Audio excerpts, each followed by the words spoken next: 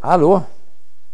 Aí eu estou aqui, ó, o pessoal está fazendo entrevista comigo nesse instante, aí a menina parou de filmar para me atender o telefone. Quer filmar? Pode filmar.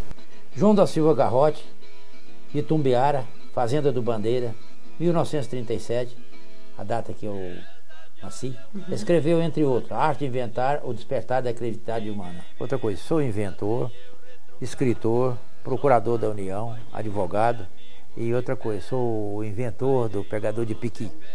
Agora já li já acabou, né? Olha, o pegador de piqui é, tem uns três anos que ele foi estudado e melhorado. Ele foi melhorado algumas vezes, né? Até chegar num, num aparelho mais sofisticado, que esse que será lançado no mercado. Então nós já fomos ontem fazer uma matriz para poder começar a fabricá-lo. Olha, é o seguinte, não vamos dizer goianidade, porque nós temos é, mais ou menos cinco estados da federação, até o Ceará diz que tem piqui também.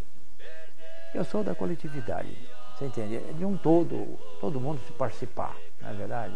Acho que não, não pode ser egoísta, não. Só goiano, não.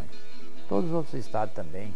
Teve muitos comentários no vídeo do senhor dizendo assim que obrigado, seu João, pela invenção, mas o bom mesmo é pegar. Ótimo, ótimo, que continue pegando, que, continue lambuzando, é saboreando o piqui com os dedos, com as mãos, lambendo os dedos, lambendo as mãos, porque faz parte de um contexto que ele gosta. A gente não pode ir contra.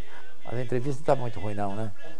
Eu espero que, pelo menos, eh, que vá ajudar a todos que gostam de saborear piqui. E a minha intenção foi essa. Se eu vier ganhar dinheiro com isso, muito bem, eu vou gostar. Mas se eu não ganhar também, não vou importar não. Ó, é, ser inventor realmente é um dom. É um dom. É um sacerdócio. Mas na verdade, mais difícil que inventar é colocar o objeto no mercado.